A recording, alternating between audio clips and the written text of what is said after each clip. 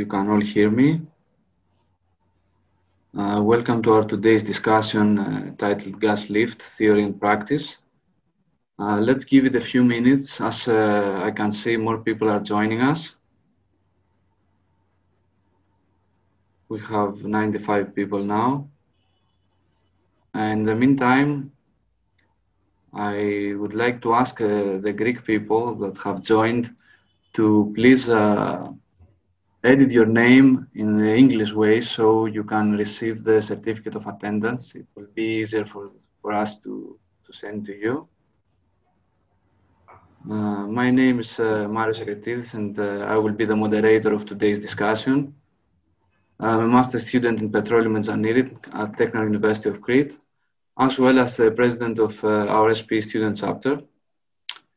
And uh, I would like to thank uh, Online Petroleum Academy and Engineer Ahmed for offering this webinar for us in order to transfer knowledge from the industry to all of you who attend.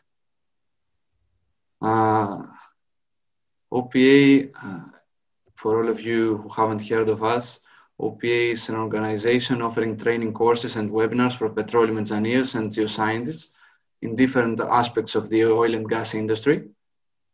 And uh, Technical University of Crete SPE student chapter has uh, been established in 2018 uh, in Crete Island uh, here in Greece. So before we start, I have to mention that uh, this meeting is recorded and will later be uploaded to both of our YouTube channels. So you can uh, watch it at your own pace and get the maximum benefit out of this. Uh, we kindly asked you to keep the microphones and cameras uh, switched off during this meeting. Of course, uh, you can all ask. actually, we invite you all to ask all your questions should be addressed at the chat box and uh, will be answered at the end of the presentation. Uh, today's uh, session will last approximately one hour to one hour and 15 minutes. And uh, please keep the chat professional at all times.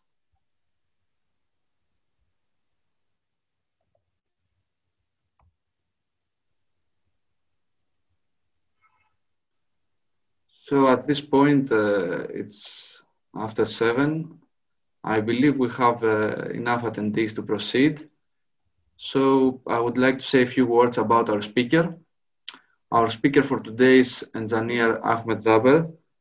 Uh, he's a senior uh, petroleum engineer at GUPCO. Uh, GUPCO is a petroleum company and Gulf of Suez petroleum company.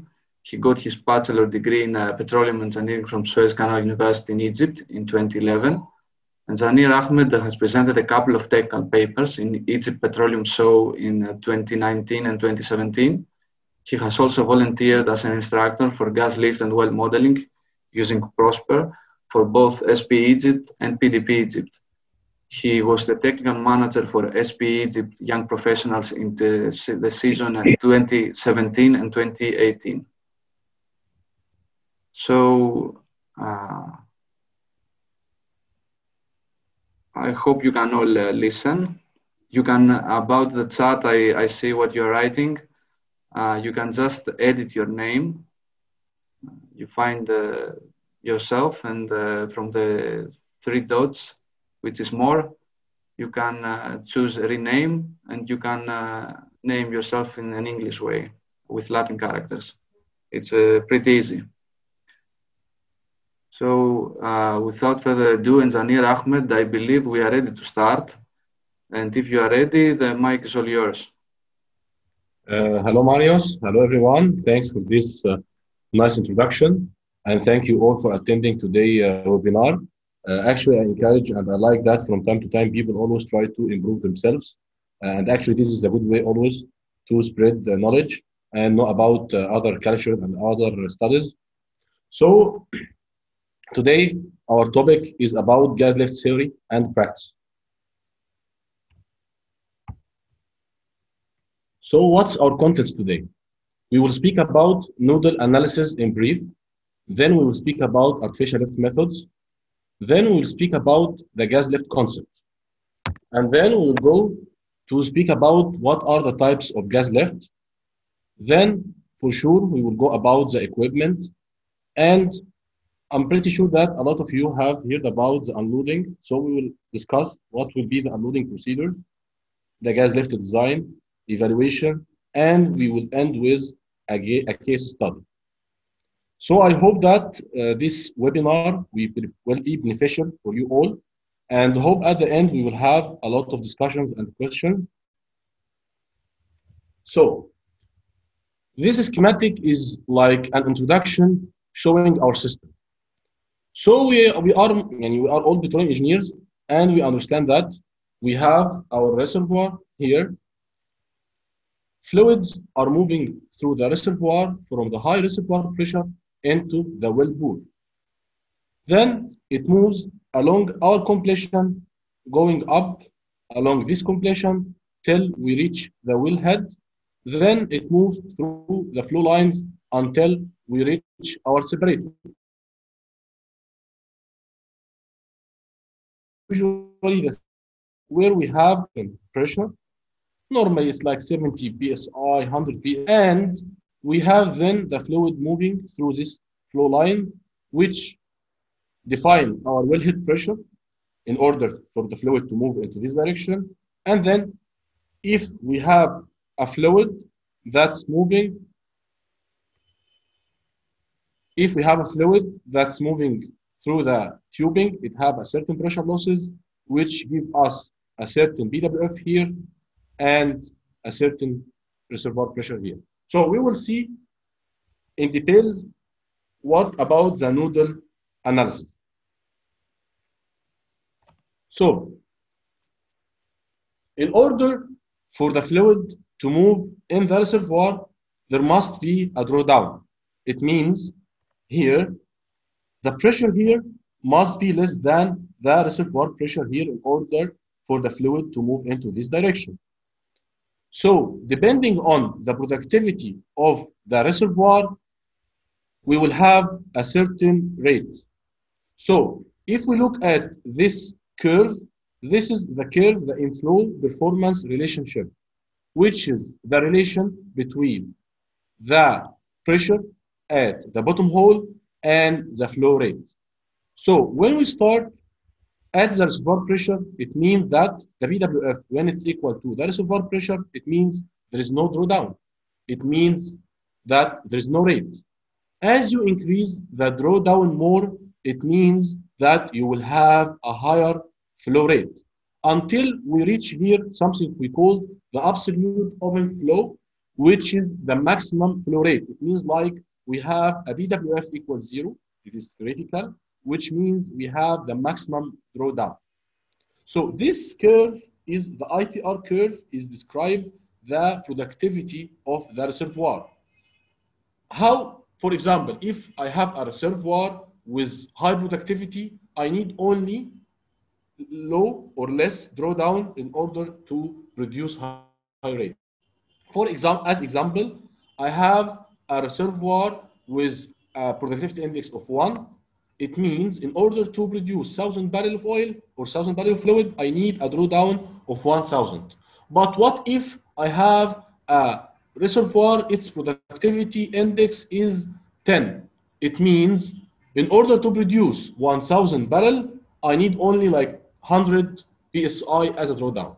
So for me, the most important is to understand this curve, and there are many factors affecting this productivity, which is the permeability of the reservoir, the height, the skin, also the viscosity and the oil volume factor, which describe the reservoir characteristics. The other relationship, which is important for us to understand what's going next, is the outflow performance relationship. So for, let's go backward to this slide. In order for the fluid to move from this up till the top, it means it will encounter some pressure losses. First, the pressure here must be higher than the wellhead pressure. So first, you encounter or having to face the wellhead pressure loss. The, also, as you are moving, there are some friction. This friction is a factor of the fluid rate. Also, as you go up here, you are moving against the gravity. So you have your potential energy. And there is another item which is like acceleration losses, but this item is always minor. So as we see here, it's like I have two main parameters. I have the, one second, I'd like to remove this little. I have the hydrostatic or pressure losses due to hydrostatic and the friction, and I have this curve.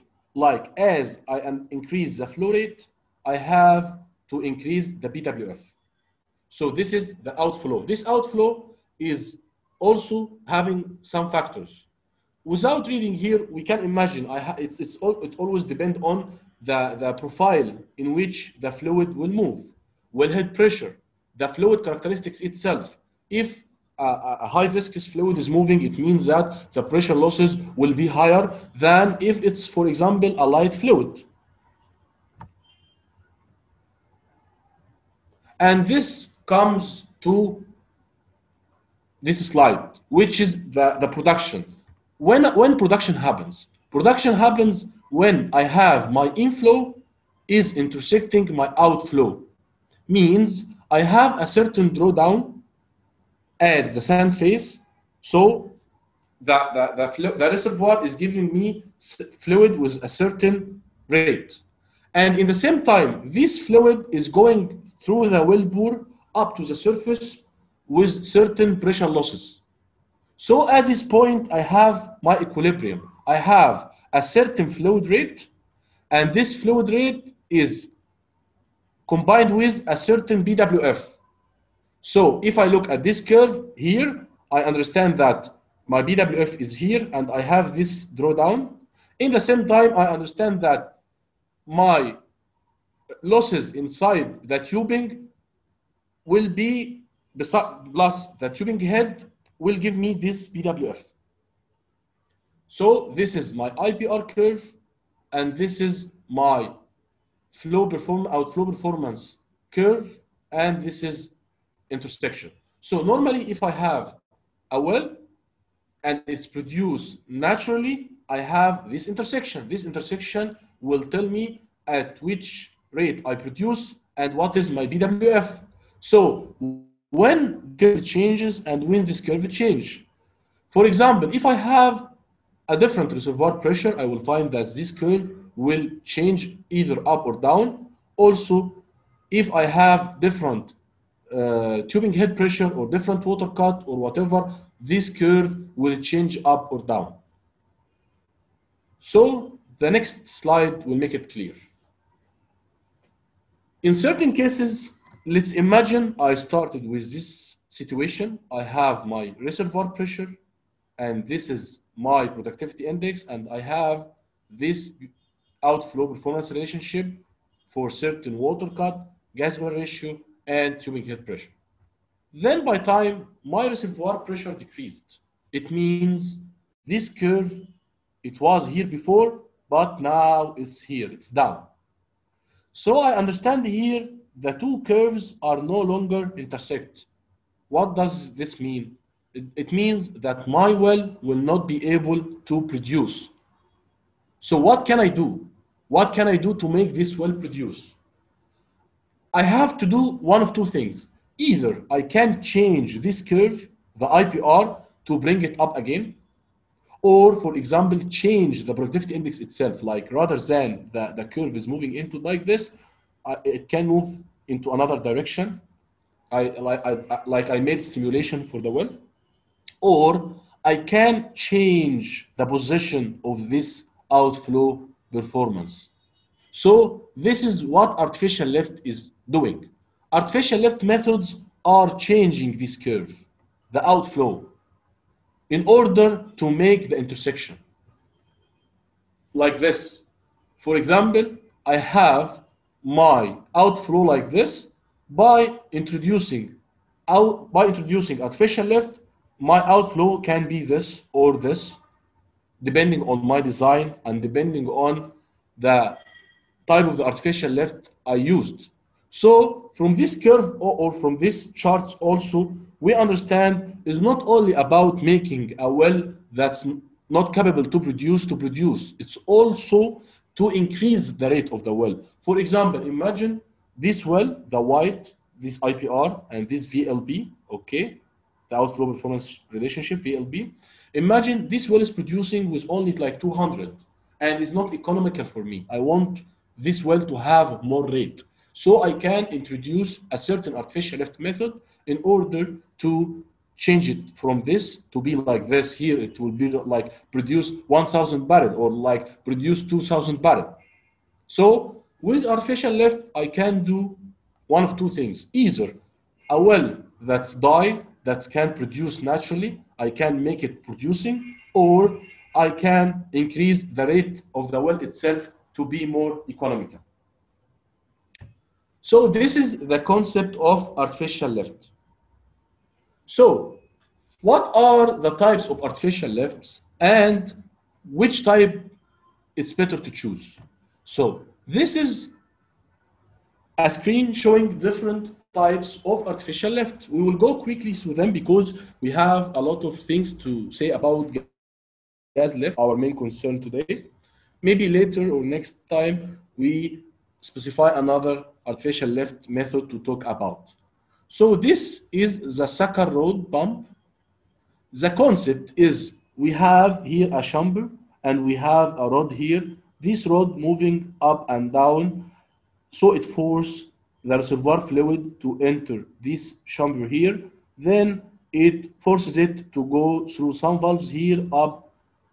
It changes the, it give it, it's pumping it, it's giving its energy to go up. Another method here is hydraulic pump. In this, we have a high pressure fluid. It goes down. It make a pump moving. Then this pump is introducing energy to the reservoir fluid to make it goes up. We have the ESP, the electrical submersible pump. So the ESP is using a motor. We have a motor down here. This motor having power through electricity. This motor is moving and it makes a pump here moving. When the reservoir fluid enter this pump, the centrifugal energy is given to this fluid and the energy changes from potential to, uh, to the kinetic to potential and the fluid is go going up. Another type which we will talk in brief, uh, in sorry, in details about it is the gas lift and let's speak it, about it in the next slides. And the other one is the PCP, which is the progressive cavity pump. It's here we have a rod, we have a stator, the rod is moving and it deliver energy to the fluid.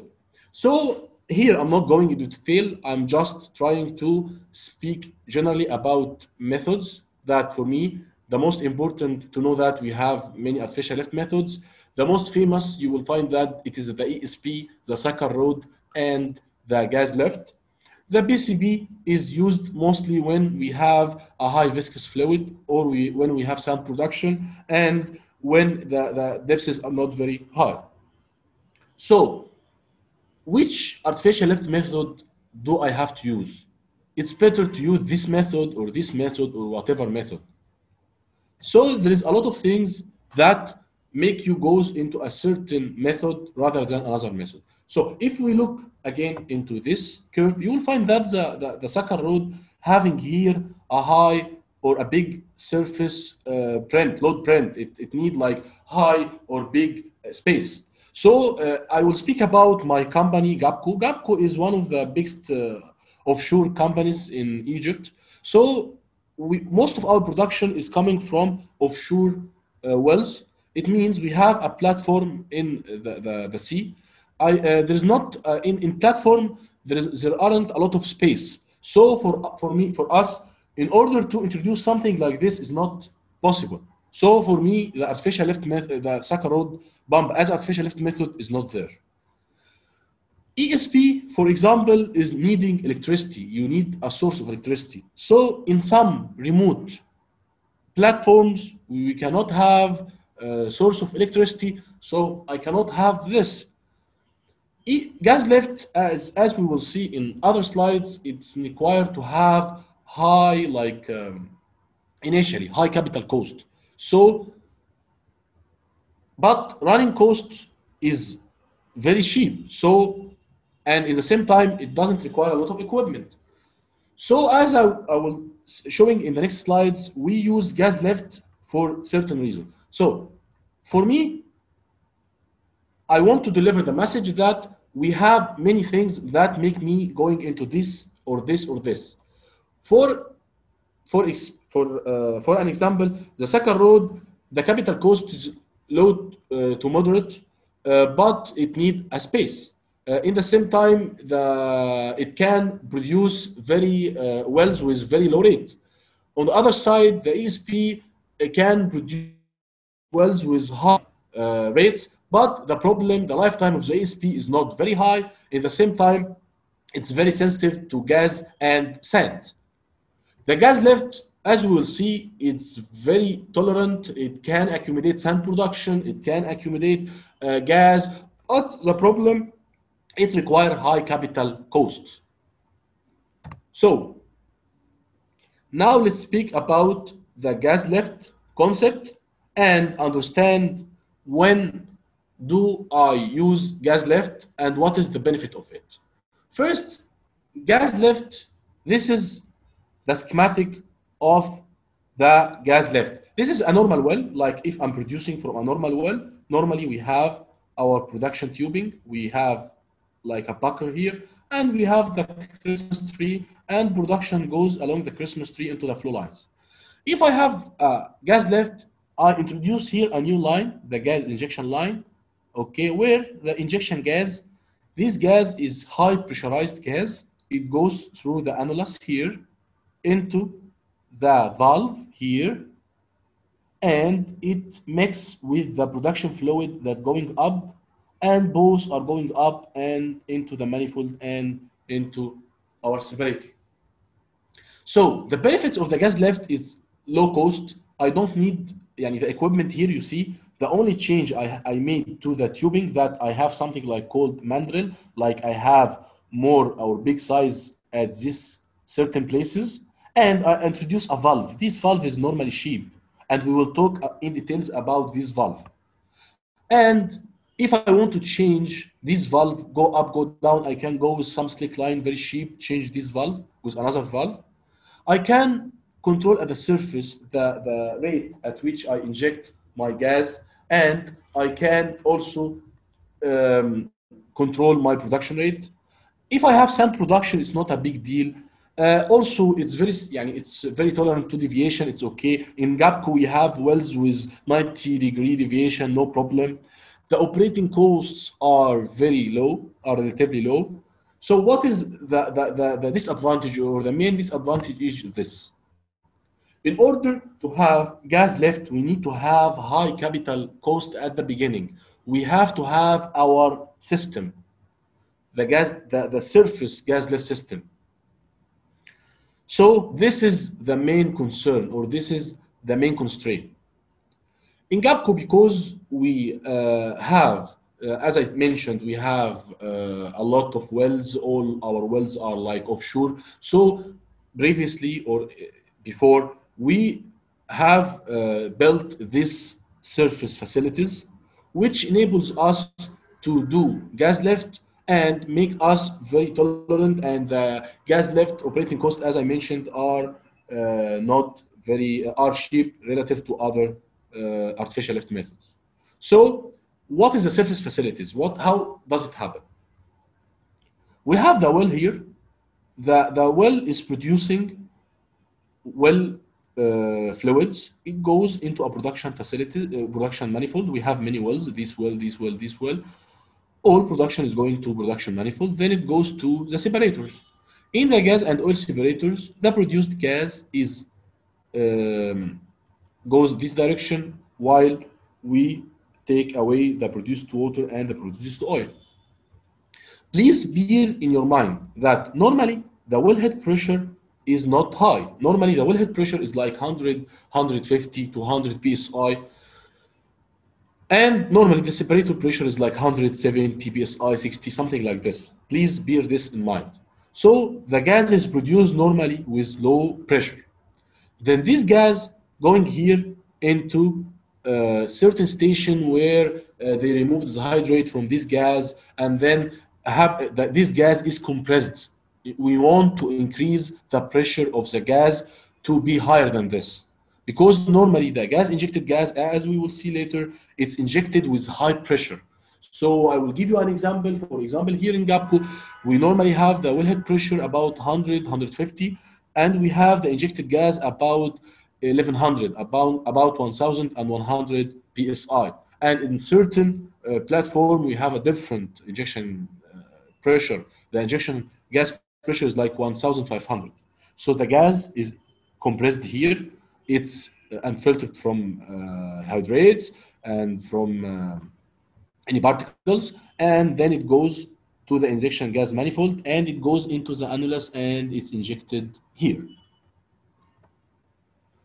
So now we understand why we are using gas lift its benefits and at the same time what the constraint is the system itself. So what are the types of gas lift Normally, we have two types. We have the continuous gas lift and we have the intermittent gas lift. So normally what happens, we inject gas from the annulus here and we have many valves and I will describe later why we are having many valves. And then we inject gas continuously through this valve. This is our operating valve and gas is mixed at this with the fluid until it moves up and produced.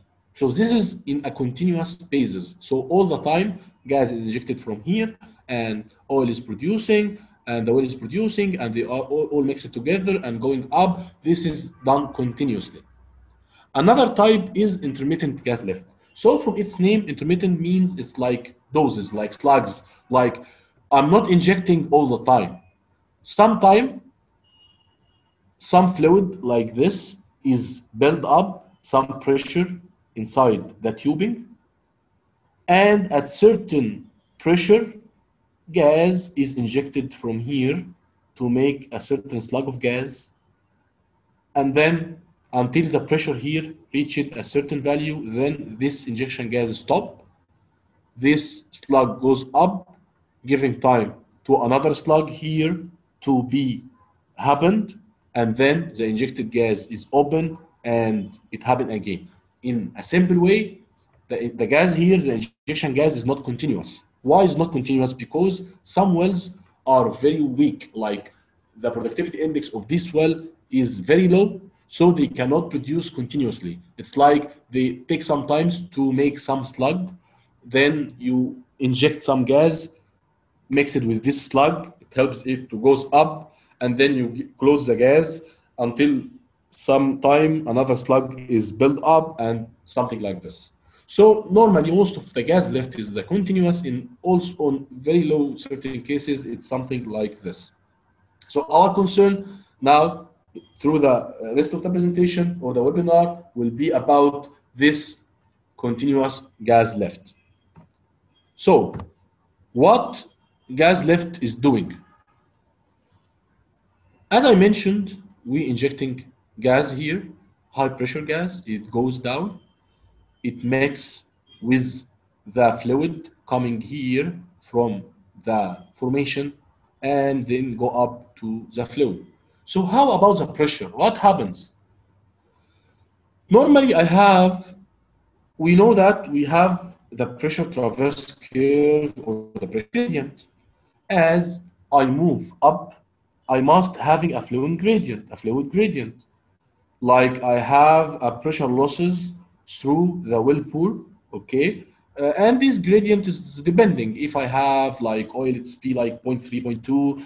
If it's gas, 0.07, whatever the gradient. So this gradient is depending on the gas oil ratio and depending on the water cut and depending a lot about the rate and many things. So this is the gradient of the fluid of the formation the formation fluid it's a gradient from the formation fluid going up like it is a pressure losses as we go up until until the point of injection.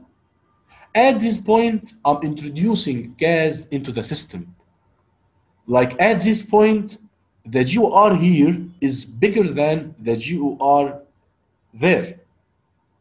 Again, I'm producing a well.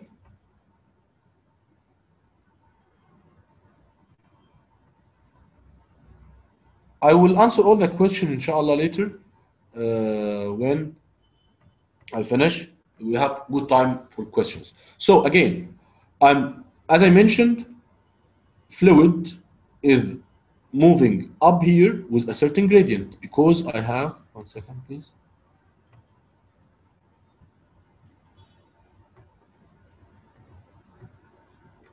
No, not now.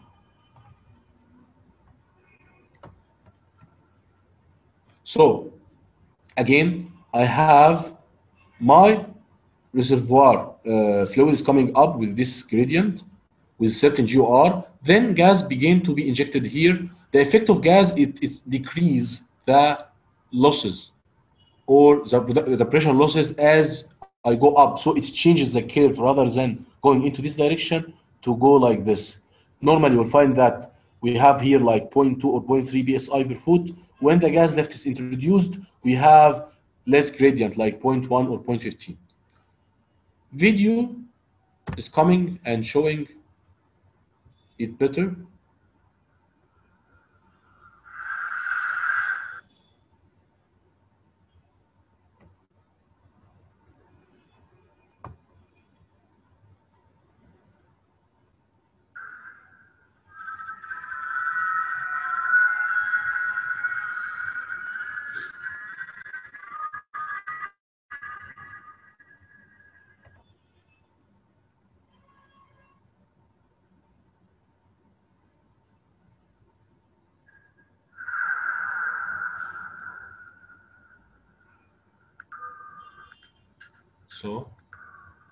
This is my well, and this is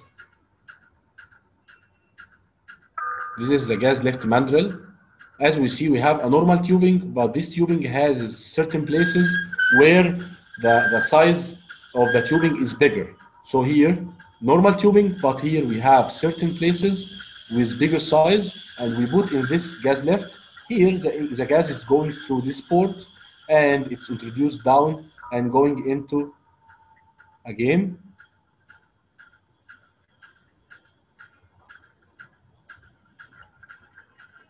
This is annulus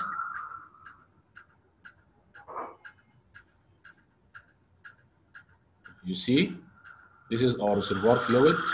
And at the point the operating it's mixed with our injection gas. So the injection gas is lightening or reducing the pressure losses. The next slides will make it more clear. I will be back again to this slide, but the next slide. So, if I have fluid inside the well bore, and this is fluid is not moving, I will have certain gradient, static gradient here, and the pressure is equal to the reservoir pressure. So here is two scenarios. If, for example, I have this well is producing with a certain gas liquid ratio, I will find this is the curve. This is the pressure traverse curve, the losses, the gradient due to this movement of the fluid into the well bore. So what actually gas lift is doing? Gas lift is like I'm moving with this gradient till the injection point. But then after the injection point, now I have a new gas liquid ratio. So my pressure losses starting from this point is less than the actual pressure losses. Again, if I'm producing for example, with 500 or 300 gas liquid ratio, standard cubic feet per barrel gas liquid ratio, I will have my pressure losses something like this. So I must have this PWF. I only have this drawdown in between in the reservoir. But when I introduce gas lift, what I do, I decrease the gas liquid ratio starting from the point of injection. The effect of decreasing the gas liquid, increasing the gas liquid ratio is that it decreases the pressure loss, which means it makes me produce with less PWF. So it gives me the opportunity to have higher drawdown. It gives me the opportunity to have more production rate. So the gas lift, again, the concept of the gas lift is that I inject gas at a certain point. Starting from this point, I have a gas liquid ratio more than the gas liquid ratio of the well. So I have less pressure losses starting from this point, which means I can have less PWF here. It means I can have high drawdown. It means I can have high production rate. Or in another case, if the well is dry and I cannot produce it, I can produce it. So this is again what's actually happened. I have the well producing with this rate till this injection point, and then it has another flow gradient till the tubing head. And this is my casing pressure. It is the pressure of the gas inside the casing here.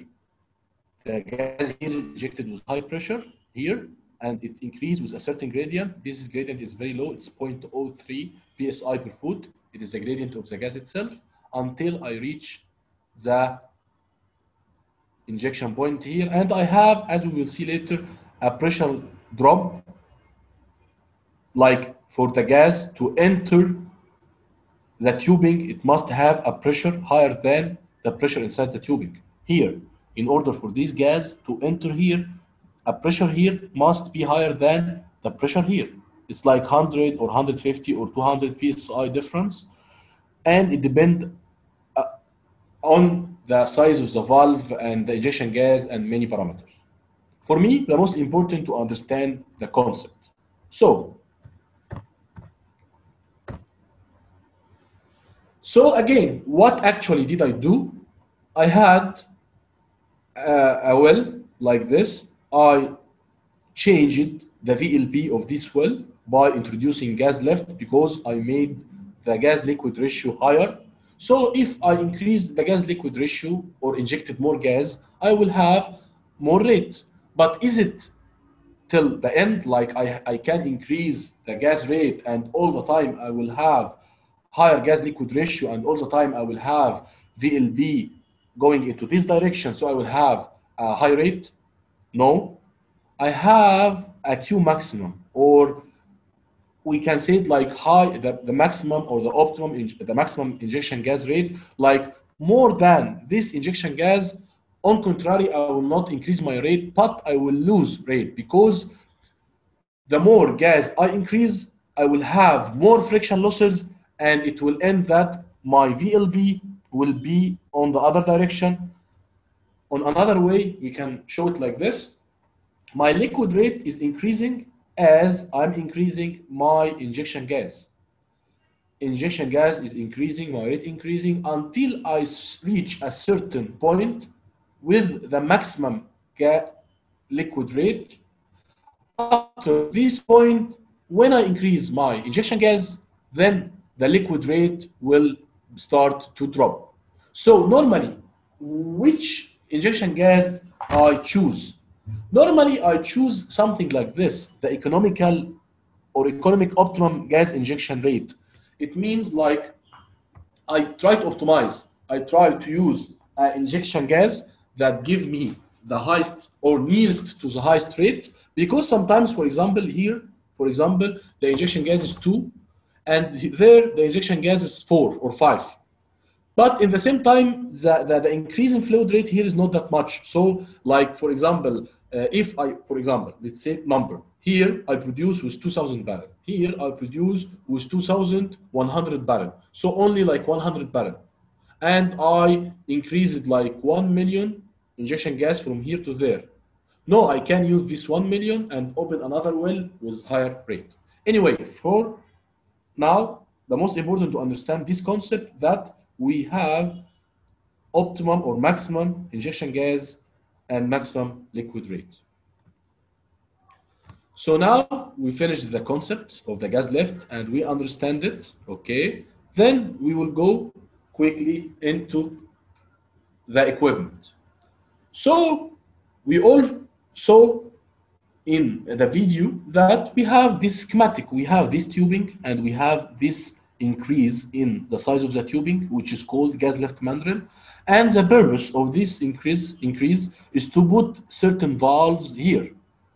Through these valves, gas is injected, as we saw in the video, the gas is injected here, and it goes down here, mixing with the fluid coming from this side.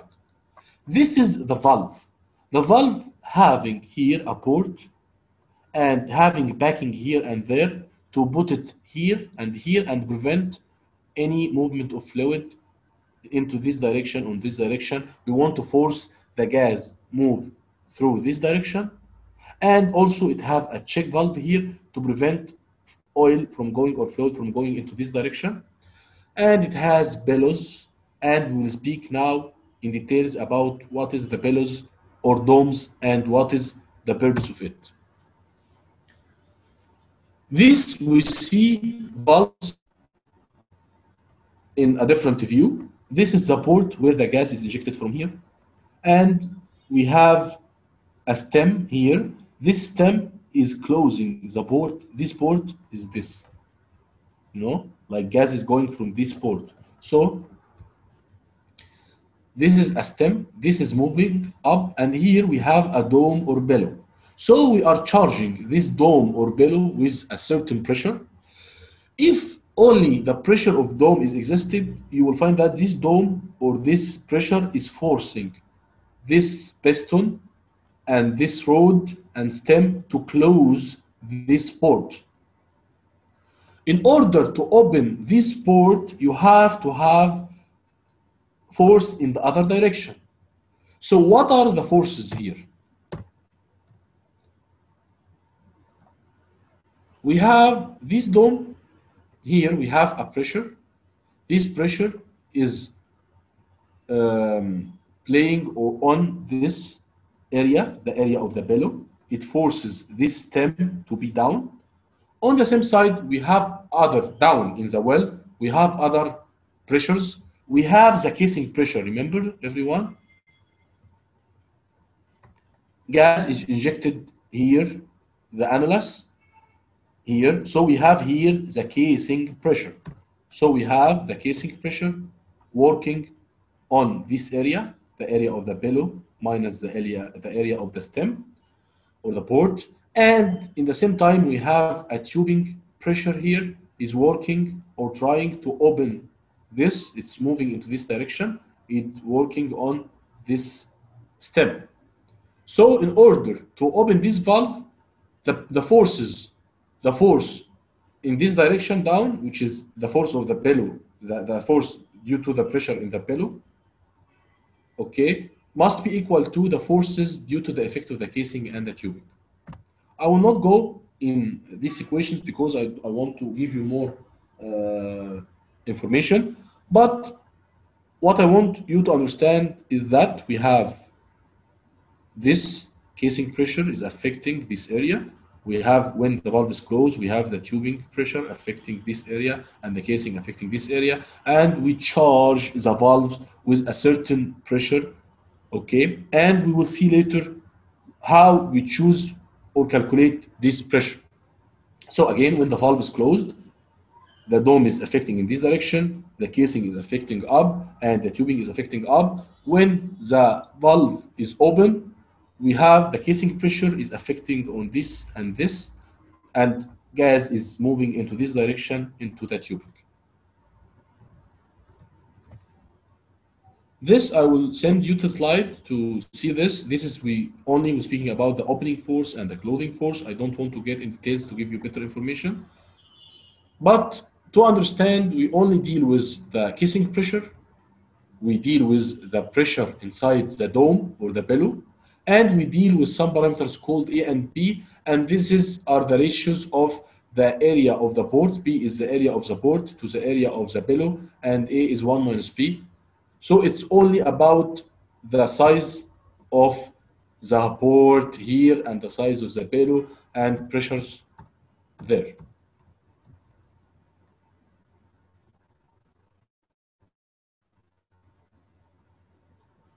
Okay, so now we speak about the unloading sequence. First, why we are using many valves? Normally, normally, as we saw in uh, the video and as we saw in previous uh, slides, normally we are injecting from one valve. Continuously, we are injecting from one valve. Let's imagine now this is the valve from which you are injecting. All the time, gas is injected here and goes into this valve and producing. So why we are having many valves? We are having many valves for two things. First, the first or the most important is unloading. Normally, you you you complete the well, you drill the well, and then you install uh, your tubing and um, set the packer and stuff like this. And the well is loaded with the completion fluid. You have to control your uh, pressure. Then you want to uh, produce the well. There is either one of two scenarios. Either I have only one bulb here, but if I try to inject gas, it will not goes down because we need high, very high pressure to go down. And from the beginning, if you understand, we have a compressor system and we have only limited injection high pressure gas. Like we, for example, we have a, a high pressure gas of 1,500, 1,000 or whatever. So I cannot produce until I remove this fluid inside the well bore. So I can go there with coil tube and do and uh, with nitrogen and I do unloading. I remove the fluid here until gas can enter here and produce, or I do something called unloading valves. I introduced many valves. The objective of these valves is to help step by step to unload or remove this fluid until I reach my gas reach the point at which it will be injecting. I will show it here with this graph and also I will show it here with a demo. So normally I have this fluid, the well is killed, so that I have a, a tubing uh, or the gradient of the killed the completion fluid and it lead, lead me to the reservoir pressure. Then I started to open the injection gas. I started to inject gas with high pressure. So gas is moving into this direction. Normally, by the way, when the uh, gas lift system or the tubing is there, all these valves are open. I inject gas here. This gas is moving this direction and push this fluid to moving into this direction and goes like this. Until this gas is reaching the valve number one. It uh, then it's starting to mix with the completion fluid here in valve number one. And it began to decrease the pressure gradient here. As we will see here, first we have the reservoir pressure here, then here we started to have certain drawdown and the fluid or the reservoir fluid starting to move and goes up. During this, my gas is here going gas into this valve and at the same time gas is pushing into this direction and push this fluid to go this until it reaches the second valve. Now gas is injected from this valve and this valve, these two valves, and helping to decrease the gradient here more until and in, helping me to increase or doing more drawdown. Then I reached a, a certain value or certain limit where all my injection is going into this valve and this valve is closed. I reach this valve and all my injection gas is going to this valve and the upper valve is closed. And then I continue again. I'm pushing fluid into this valve and in the same time I'm reducing the fluid gradient here until I reach this third valve. So now I have two valves open, the second valve and the third valve, and this valve is closed. Gas is going from here and from here, and by time all gas is going from here, and this valve is closed. So if we uh, again uh, trying to conclude this, from each time I'm injecting through a certain valve, then decreasing the gradient here, then I go to the lower valve until I certain reach a certain pressure limits. When this valve is closed and I inject only from this valve, then I go down from to this valve and this valve. I have two valves open. Then a certain limit come when I inject only from this valve and this valve is closed until I reach my operating valve. In this case, I have only this this valve is my operating valve, so it's okay. So this is the case. All the time, I'm injecting gas here with this pressure until gas is reach the depth of the third valve. It goes into this valve up, mixing with the formation fluid coming. Inside the tubing, we have this pressure losses, this blue one. As we, as we mentioned before, the gradient here is the gradient of the fluid until I reach the point of injection. Then I have another gradient because starting from this point, I have a different gas liquid ratio. And all the time I'm having this, I'm producing this continuous way. I can show you uh, quickly a demo that showing again what's actually happening.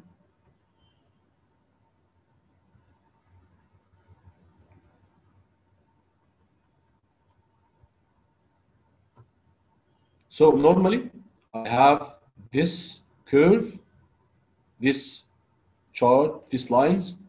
The well is uh, closed. I have uh, completion fluid in the well until the reservoir pressure. The injection gas is the uh, red line. The blue line is the uh, pressure inside the well bore. Bear in your mind, I want to reach this curve. I want to produce my fluid like this, and then this, I want this to be my point of injection. So we will understand now what's going on. I begin the unloading. Gas is starting to moving through this direction. It pushing the fluid. You see? As I'm pushing the fluid, my pressure is increasing. Like here, if I have a gauge here, I will find that my pressure is increasing until it reach my maximum pressure. I made the design that my maximum pressure will allow me to go to the valve number one. So here, gas is going into this direction, mixing with fluid, re re reducing the tubing pressure, and making drawdown here until I reach the valve number two. Now I'm injecting when I reach this valve, I'm injecting from two valves, from this first valve and from this second valve, until I reach a certain value where this valve is closed, I'm only injecting from this valve. And this will happen again. By the way, this blue one is the, the, the, the tubing pressure that is changing as I, I injecting. Take, will bear in your mind that, one second, I want to show you this if we all one second. If we all take care we will see that we started injecting high pressure gas here and now we are injecting with this high pressure gas here. As we see it's continuous until and also I'm producing from this valve I'm injecting from this valve only injecting now from this valve and I go down, injecting from these two valves.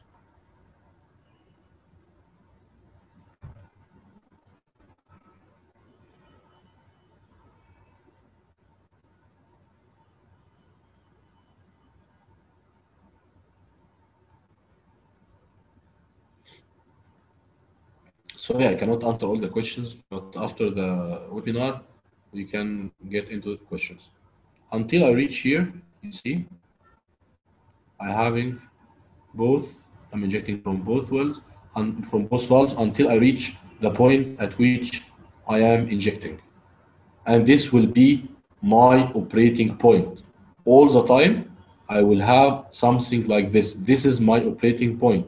I'm injecting gas here with this pressure. Like if I go and put a gauge here, I will find the pressure at the casing is this value. And if I go here with some gauges, I will find that this is the pressure traverse inside the tubing here and here, and this is my drawdown. So take into consideration, I started with injection gas pressure here, and then is decreased. Why? I made this calculation in order to prevent many valves opening in the same time. On another way, first I was injecting from here, I was injecting into this valve. Then I was injecting from two valves, this valve and this valve. I was injected with this pressure, with this pressure, sorry, until I my casing pressure decreased, and now I'm injecting with this pressure. When I inject with this pressure, the valve, the first valve is, will be closed because it's designed to be open with this pressure. I will show it this now when we go to the gas lift design. I tried to uh, make it clear from here, but no problem. The most important for me that we understand now why I am uh, using unloading valves, what is the objective of them, and what's actually happening. So what is the meaning of gas lift design? What is the objective of doing gas lift design? The objective of doing gas lift design is two things. First, I have to set or to uh, put the places of the valves. Where, oh, first, how many valves I need. Second, where to put these valves. Also, these valves, what will be the bellow charge of these valves? But before I start with this, I want you to understand that we have many different types of valves. First, normally, I want to reach this curve. I want this curve is the curve that I, I uh, am producing a well with a certain float rate, as we see here, it's like 570, with a certain gas liquid ratio, with a certain water cut, and whatever. And I'm injecting gas. This will be my operating point here. Okay. So at this point, or the valve at which I'm injecting, it can be either operating valve or orifice. And like it can be charged, it can be having sh- this shape. One second. It can be something like this. I have the valve and it has a bellow and this bellow is charged and this has a stem.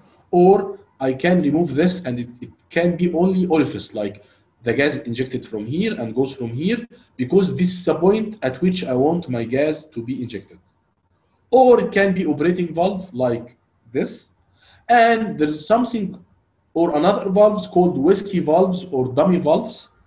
These whiskey valves or dummy valves is for the future. Remember this curve here. I have here one, two, three, four. Okay? So this is my operating valve. I'm injecting gas all the time from here and I'm producing here. Why I have another valve down here? We understand that we have three valves here because, or two valves upper because these are the unloading valves. These valves are helping, are, are helping us to produce the fluid up to the surface. I have, and this is my operating valve, I have this valve, which is dummy valve or whiskey valve for the future. In order, if, for example, my reservoir pressure decreased, so I can go down and begin or start injecting from this valve. So when I'm doing design, I bear this in mind. I try to have like to choose where will be my operating valve, and if I have whiskey valve, I choose where will be my whiskey valves, and I try to calculate how many unloading valves I need and what will be, how they will be charged. So actually it starts with something like this. This is the pressure traverse of a fluid uh, of a well with a certain fluid rate. Again, what this means, I want to produce a well with 2000 barrel, for example. Uh, this well having the formation gas oil ratio is like 500 and starting from the point of injection, which is, will be here, I will uh, inject gas with uh, to make the gas oil ratio 1000 or 1050. So I have this curve. I wanted to reach this curve. And I have a certain tubing pressure. Again, I having a well. I want this well to produce with a certain flow rate. So I have my flow rate, I have my well, I have my required tubing head pressure and the injection gas required. And I draw this curve, which can be from correlations or whatever. This is the curve I want to reach. This is pressure here, and here is the depth. And I have another curve. This curve is started with, this is the kickoff pressure or the pressure of the gas inside the casing. It is the, ma the, the maximum pressure that I can inject at the casing with this uh, gas. So I mentioned before in the surface facilities that I go, I take the gas with low pressure. I do uh, compression for this gas to cert, to reach a certain high pressure. So I inject this gas here, and then inside the well, remember everyone, I have completion fluid. I have a fluid that's dead. This fluid I put it to control the pressure, and we have this fluid with a certain gradient. Normally it's like 0.4, uh, 5 psi before something like this.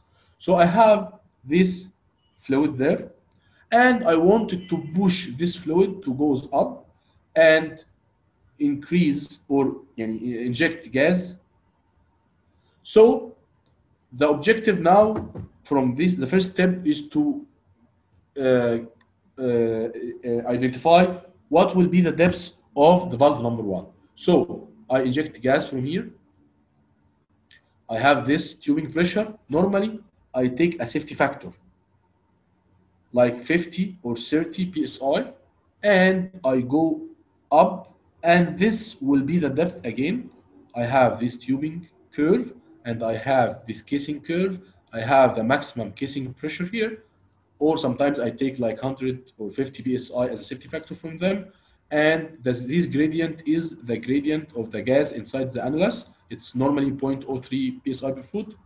Then I draw this from the tubing head till uh, the intersection here. This is the static gradient of the fluid in the tubing, the completion fluid. And I take a safety factor, 30 to 50 psi, and then I put this, this will be my valve number one. So what will happen if I didn't do this? I took valve number one up here, or I took valve number one down here. If not valve number one is down here, I will not be able to inject gas and produce because this is my maximum gas and the gas that I can kick off the well with. So I cannot inject gas, the gas will not reach the uh, uh, valve and the well will still dead. So if this valve is down, I will not produce and I, I cannot be able to make this unloading process successfully.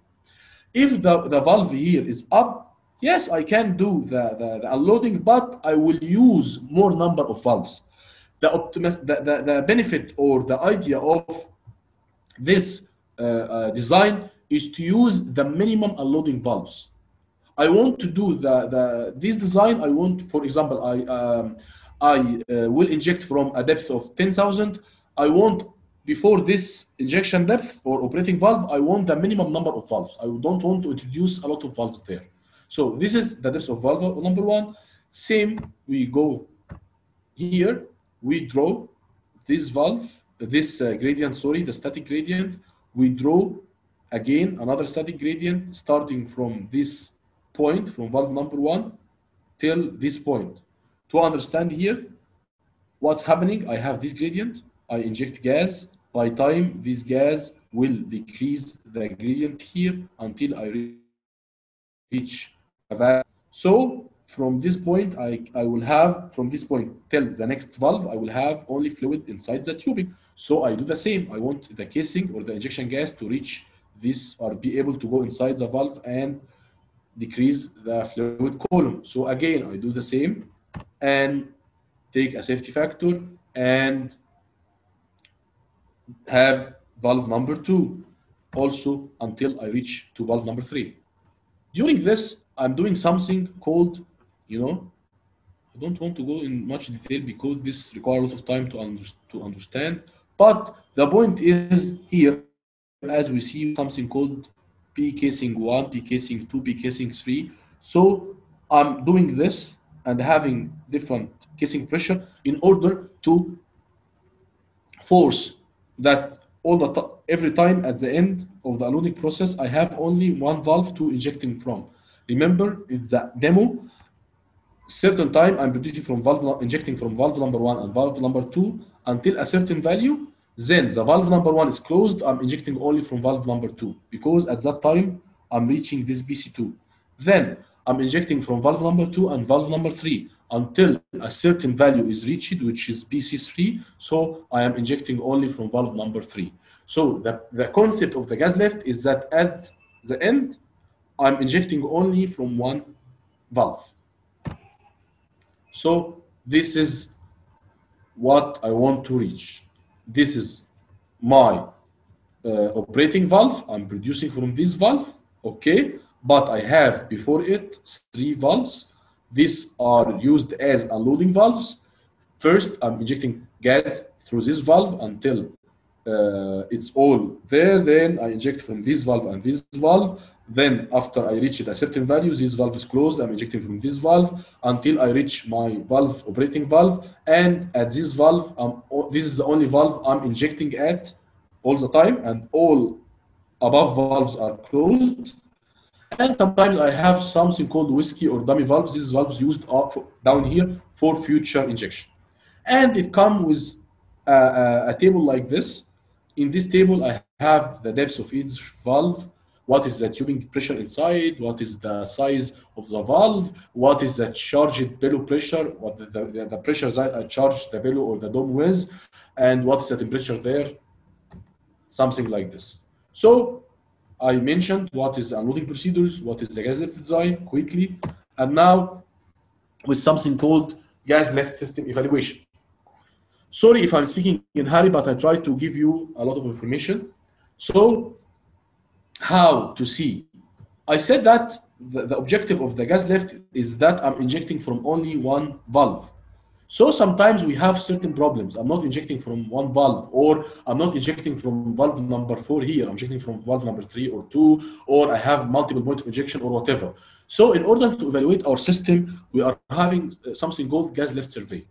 I'm going inside the well pool with pressure gauges, taking pressure at certain point, and see how is my gradient inside the tubing. And the same time, I have the gauge on the annulus and I can see my casing pressure and I'm drawing this and I have uh, a gauge, a pressure, a temperature gauge to see the temperature.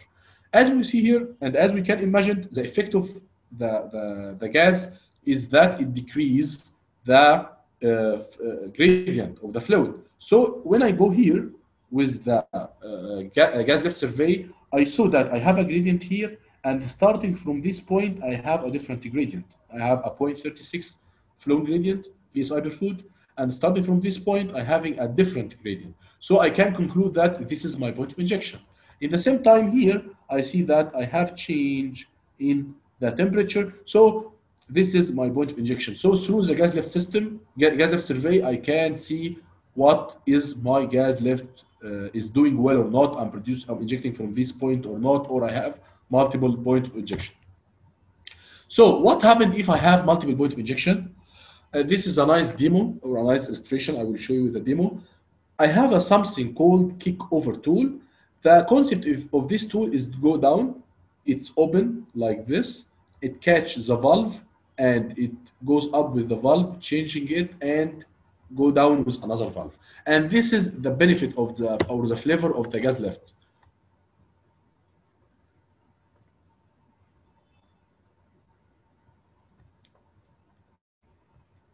So here.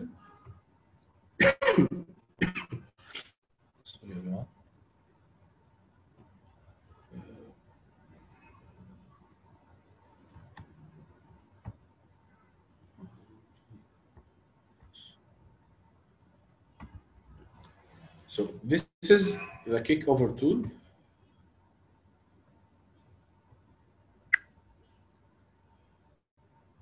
I have a well, uh, this well having a problem that I'm not injecting from uh, valve number, uh, from the valve that I want to inject from, I'm injecting from a shallower valve. So what is the effect of uh, injecting from a shallower valve? I'm not having the rate or the drawdown that I want. So I go down with this tool on slick line or wire line. And this tool, as we see, it goes down here until it passes this valve. I want to change this valve, okay?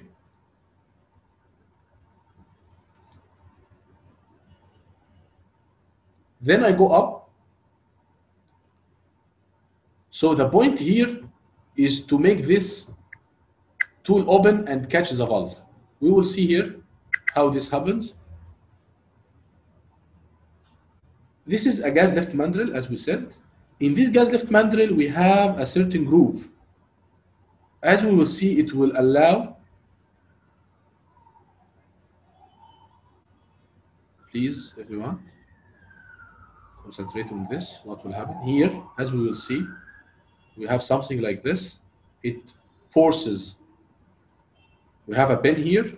It forces, when we go up, forces this arm to go into this direction again.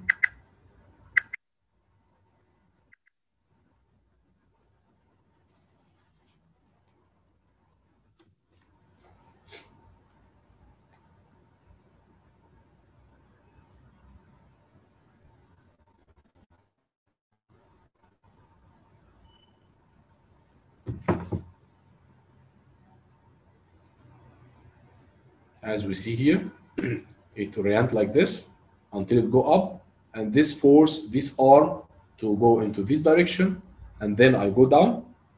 Okay, I know from the tension that this arm is open. I go down. I do some jarring.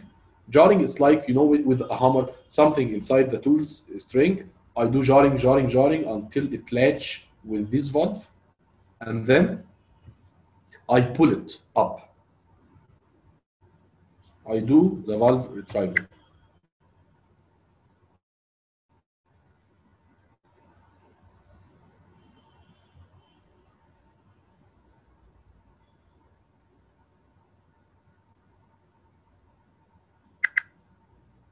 And as you see,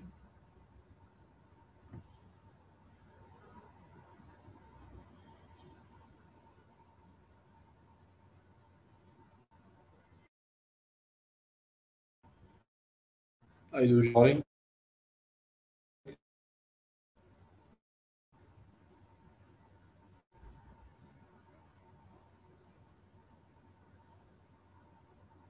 until it go up. So this is the kickover tool. And then I go with another valve on the kickover tool and set it here on that. So the last thing I wanted to share with you, it is something like a case study. Here I have this one, this well posed from a deep valve. I we did this gas survey. This is it's uh, the tubing, and this is the casing pressure here, and this on the right here it's the temperature. So from this I could see that the injection gas can reach valve number six, but I'm injecting from here, as we see the gradient here is a fluid gradient until I reach this value or this value. So I'm injecting from valve number three. I want to inject from deeper valve. So I went down, I we did gas lift valve change, and we reached it as we see the gradient. And I'm injecting all from down and be able to have the maximum drawdown. So this is uh, the webinar for today. I hope that you all uh, uh, get the maximum benefit from it. And uh, now I can go with uh, questions. But if Marius or if uh, Omar want to add or say anything, it's okay. Uh, first, hi, and again, Engineer Ahmed. First of all, I would like to thank you. It was a very good presentation. Uh, indeed, a lot of information, but I think uh, people have understood quite a lot. Uh, we have a lot of uh, questions. Uh, Omar, how we are with time, by the way? I think we have 15 minutes, so you can go as much as you can in these 15 minutes. Okay, okay. So I would like to invite you, Omar, maybe to share uh, in the chat box the links of OPA so people can attend in the future events, can find you, and I will share also our social media for future events. Um, and you can also share the, uh, the feedback, the survey. You can all fill the feedback. It's a small survey regarding today's event. It will be really helpful for us and OPA. Uh, about the questions, we have quite a lot. Uh, Engineer Ahmed, you, Yes. you're here? Okay. Yes, I'm with you.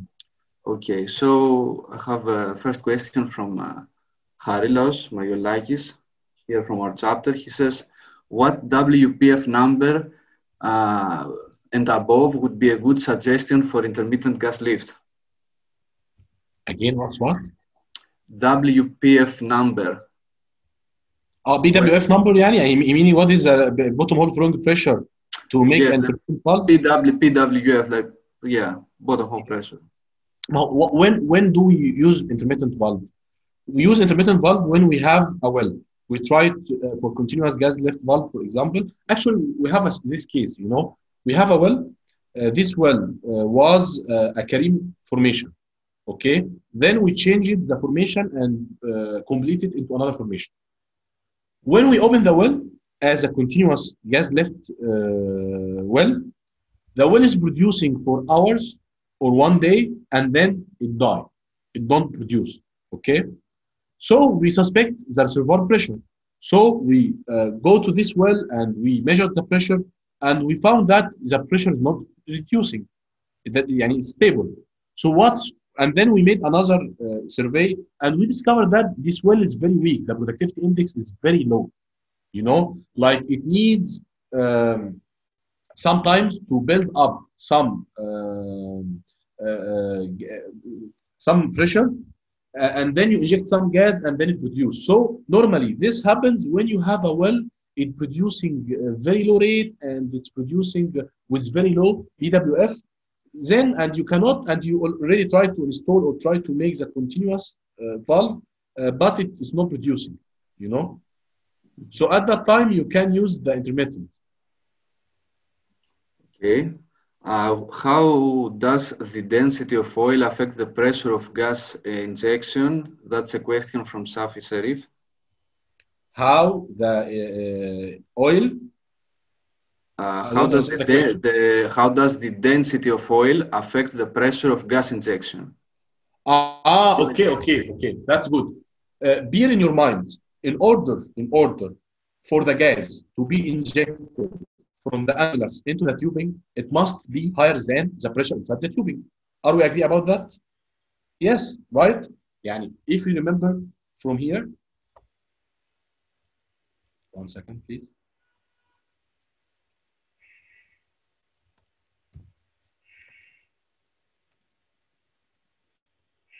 This is, I'm producing through this well, okay? So in order for the gas to enter from here to there, the, the, the, the pressure of the gas here must be higher than the pressure of the tubing here, okay? So, for example, if I have a, a, a well uh, heavy oil, okay, very heavy, it means that the, the, the flow, even with injected gas or with the high gas liquid ratio, the, the flow, this gradient may be higher than this. You know what I mean? So uh, for at this situation, I cannot inject from this point. I need to. I, I can only inject from higher points. Like again, why why I'm not injecting? As we look at this diagram, why I'm not injecting from here? Why it's only here? because my gas cannot go down there. Even if you have uh, decreased the, uh, the gradient with certain value, but the maximum casing or gas can reach here, can reach here. It cannot reach more than this. So in this scenario or this situation, you cannot inject gas from here. When can you inject gas from here? If there is reservoir pressure decreased, if the rate decreased, if you have lighter uh, fluid. So for sure, when you have uh, higher density fluid or high, higher density oil, it will affect your point of injection. So at this scenario, in order to inject at a deep point, either you have uh, يعني, uh, uh, oil with uh, uh, accepted density, or you have to have higher casing pressure here. Hope it's clear now. Yes, it's clear. It's clear. Uh, we have a similar question uh, asking basically uh, about injection pressure uh, with uh, regards to depth and uh, viscosity. If it's increasing with depth and viscosity. Yes, exactly. So, yani, you know, sometimes, sometimes uh, in order, yani, the maximum or the optimum thing is to normally what happens, or if I have this, well, one second, I prefer to put it with, uh, okay, it is the same. It's quite. wait. Normally, the optimum, the maximum point or the deepest point that I can inject from is just above the packer, right? Because in order to inject gas, I must have isolation between here and there, right? So the maximum point I can inject from is this depth, right? But is my injection gas pressure is able to reach this depth? No, not in all values. Sometimes yes, it can reach here. Sometimes no, I can inject from this valve from this valve. You know, in GAPCO, uh, we have a, a platform. In this platform, we inject only from the second valve. Another platform, some wells in it because the wells is less viscous, uh, less dense, and uh, the reservoir pressure is low. I can inject from this valve. So it depends. Sometimes, يعني, bear in your mind the value of the injection gas here. You, you cannot control it because it's controlled from the, the, the compressors.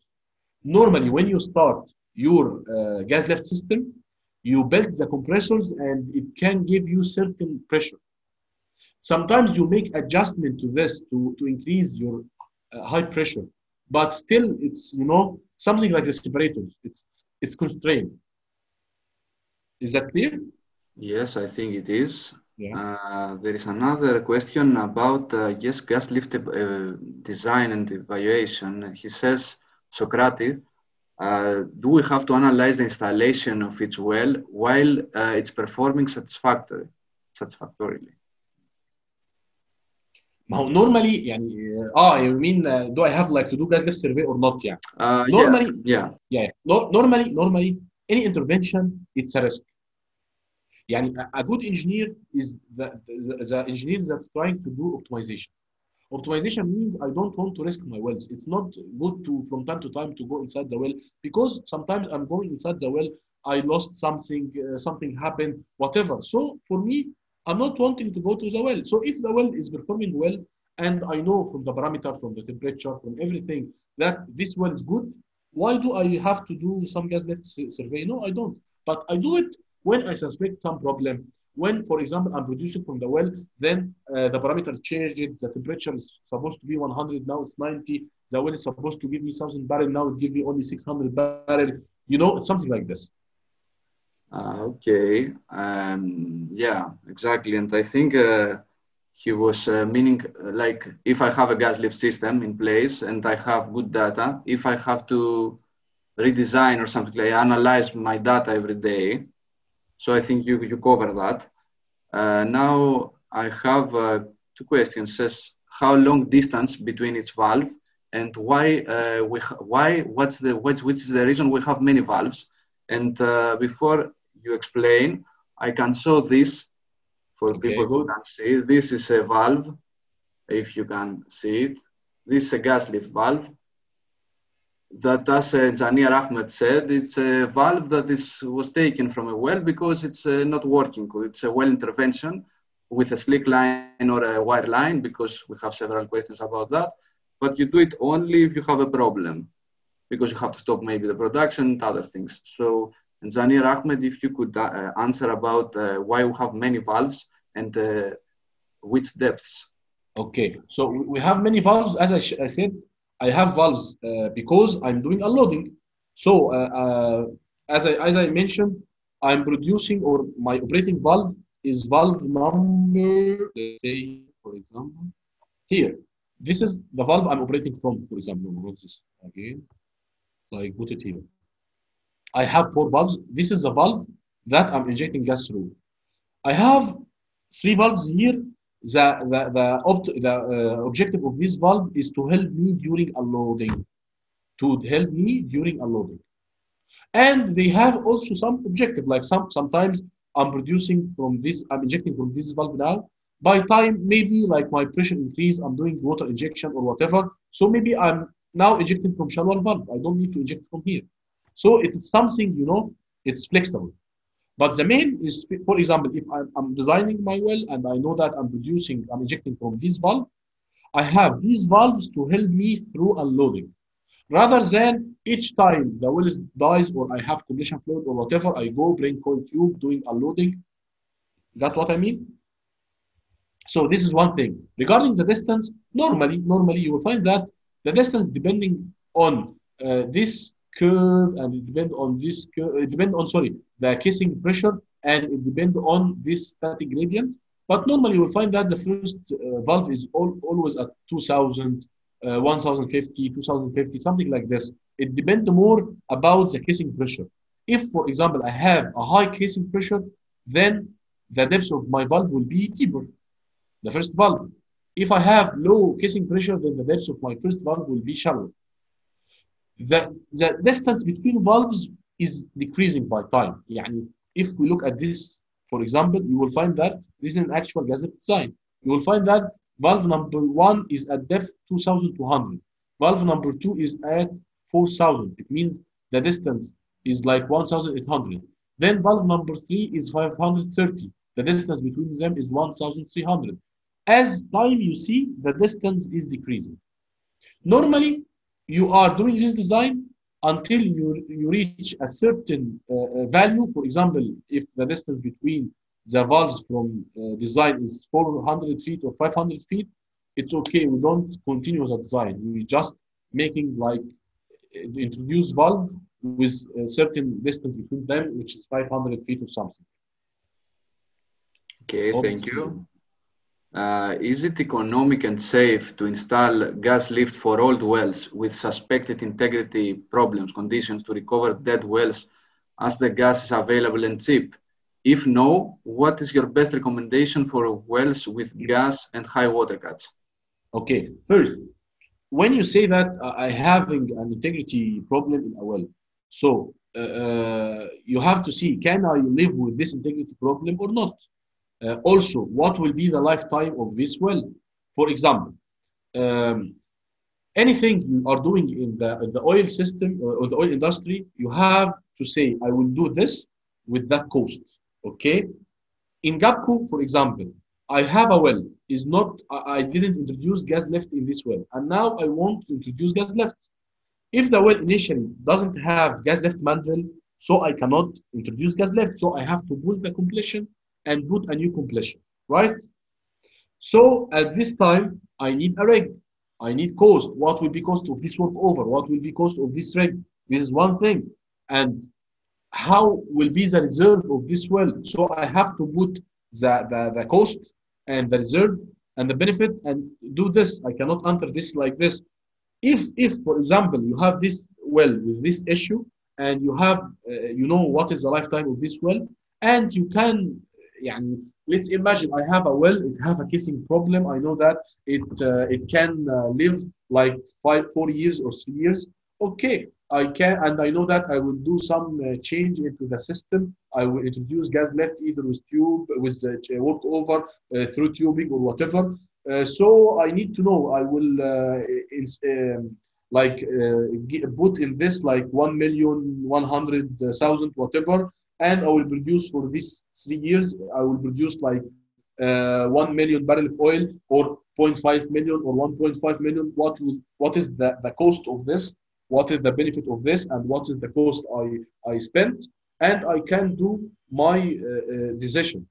Normally in gupco i have a well. I need uh, for the for the, for um, example this well uh, having a problem. I, I must do work over so this work over cost me uh, 2 million dollars. Okay uh, I do my uh, analysis and I found that this well will produce 500 barrel with 0.3 or 0.4 reserve. Uh, the benefit of this will be 5 million and I um, having a cost of 2 million, then this well will be beneficial. Something like this. So I have to do this economical study. Got it?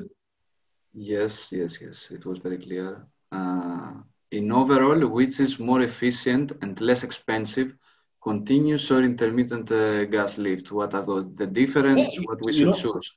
Okay, continuous. We all want continuous because continuous, for sure, it means I'm producing. Uh, you know, when I'm producing in a continuous way, then it's smooth. I don't have surge. Like you know, the problem of uh, intermittent that I have the tubing head is changing from uh, uh, value to value. It can affect. I'm not producing smooth way. You know. Uh, another thing, for sure, intermittent. It means I'm not producing with high rate, with low rate. So the most efficient and the most good is to produce continuous. But in some scenarios or some cases, the well is not producing uh, continuously. So I'm forced. And the optimum is producing naturally. I, I don't want to, to, to invest money and make the well producing uh, with artificial lift. But the well cannot producing economically or cannot producing uh, what I want uh, in a natural flow. So I have to introduce gas lift or artificial lift to make it produce economically. So it depends on my situation, you know. So uh, for me, the best is continuous, but as I told, it's not in my hand. I'm forced to do it. Yeah, yeah, yeah. I understand. Uh, we have several questions about uh, the lifespan of the valves, of the gas lift valves, or the dummy, or the orifice, or whatever, and several questions like that which I okay. think depends from the case of the reservoir and the well. No, normally, normally the, the, the lifetime in, in I, I saw uh, wells with the gas lift uh, uh system and the valves for a long time, for 15, 20 years, 25 years. I saw it. And I saw some cases like a, a problem happened in the valve and from the first day it's not working. But normally the, the time span or the lifespan of, of uh, valves is long, okay? Uh, if you compare uh, valves or the gas lift system with ESP, for example, normally we have a study before like normally the ESP uh, lifetime is like two years, one and a half years, something like this. Uh, gas lift is is good, and one of its advantage is flexible. It have high long lifetime. Uh, it's flexible, as I mentioned, it's cheap. But the main problem is two things. First, you have a maximum uh, uh, drawdown you can inject. As I said, you have a certain gas lift. You have a certain drawdown, the maximum drawdown that you can produce because you, you have many constraints. You have the high uh, casing pressure constraint, uh, the flow gradient. So, on the other hand, for example, ESP, you can uh, produce with very high drawdown, with very high liquid rate. So, you know, everything you have its good and bad. So, at the end, you try to. So, what next? Uh, next question. I don't know how much I can ask you. I don't know, Omar, how much time is left. Um, we can extend for five more minutes. You can take three questions, man. Okay, okay, thank you. Uh, how much the gas lift techniques improve the recovery rate of a reservoir? That's good. You know, we have a well, okay? This well is natural, it's producing um, until the water cut reaches 50%. Good. Then it stops, it's not producing. When you introduce the gas lift, it can produce until the water cut reaches 90%. So this time, from 50% to 90%, you have reserve. The well is producing, and all this reserve is added to you.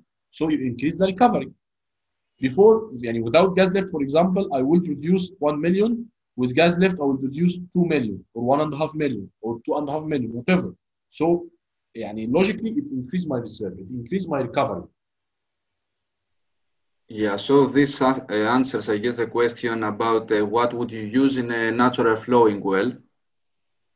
Uh, if the well is offshore and it's a natural flowing, I guess you wouldn't start it directly with gas lift because you can start if, also. If, bear in your mind, if I have the gas lift facility, because I mentioned at the beginning, you, for the facilities you have, the compressor is big, the lines, you know, all this, if you have the facility. But what if, what if you have only one platform, uh, you don't have uh, these facilities? Sometimes you, in GUPCO, for example, we have a platform that is uh, ESP. Why ESP? Because uh, it's near to the shore. I can um, put or deliver an electrical line to it. It high viscous. I need uh, high drawdown from it. So you know it depends. another, for example, platform you don't have uh, a gas line for it. So maybe you, you use jet pump or use PCP. So it depends. Normally for offshore, if you have these gas surface facility, facilities, it's a good uh, way to do gas lift. So the same, it depends. Okay, let's take a final question.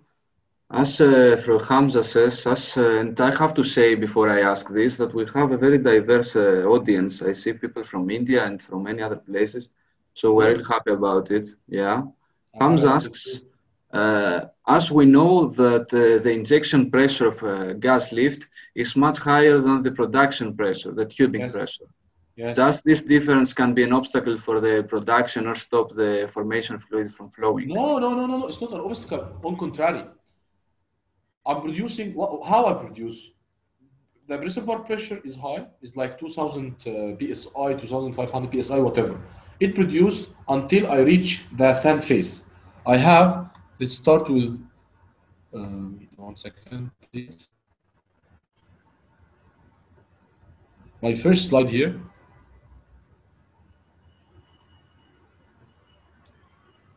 Here I have my reservoir pressure and here I have my PWF.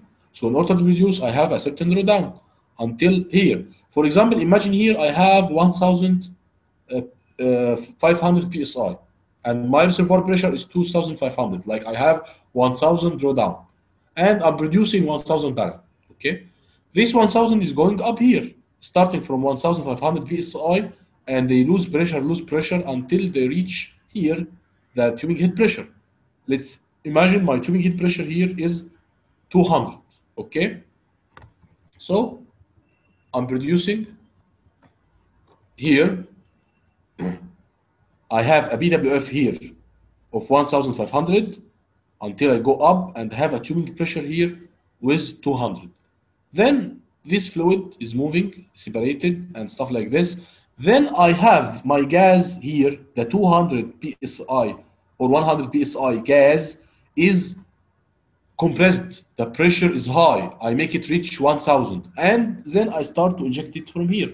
But why i make it reach high pressure? Because i wanted to inject it here deep deep. Here a deep a deep uh, depth here the tubing pressure is high.